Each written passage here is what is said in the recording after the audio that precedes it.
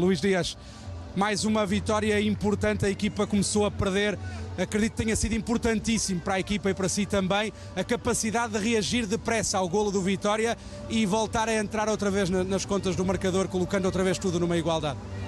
Eh, buenas noches, primero que todo. Eh, sabíamos que iba a ser un, un juego muy difícil. Por, por, por, lo que era el rival, ya, ya lo conocemos. Eh, hicieron el gol como, como tú lo has dicho y nosotros creo que, que, que reaccionamos a eso.